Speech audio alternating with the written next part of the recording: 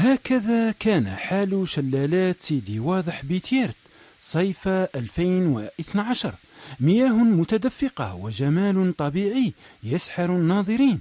قبل أن يتدهور حالها اليوم فتنضب المياه وتهمش المنطقة وتعزل لتتحول إلى مجرد أطلال.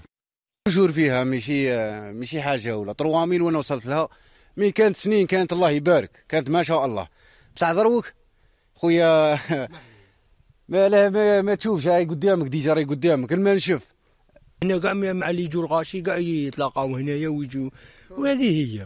من هاك وهاك يجوها وراك تشوف. عاد كيصرى لها وراح الماء وصار فانقطاع المياه يعود بالدرجة الأولى إلى استغلالها من طرف أشخاص بمستثمراتهم الفلاحية.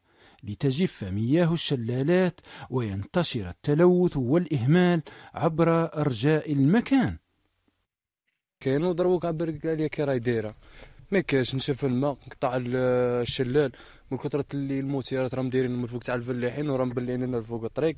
ما دروك شغل راحت على ال vide كيما les photos راهم كاينين قاعد تصاور وماذا بينا الدولة توقف معنا ودير لنا بلاصة شابة كيما. normalement دروك normalement les compagnies normalement parking خدامة les agents قهوة وبلاصه شابة كيما هذه. والله لا مضيعينها مضيعينها بزاف كاع عندك الله يبارك ما عند ربي.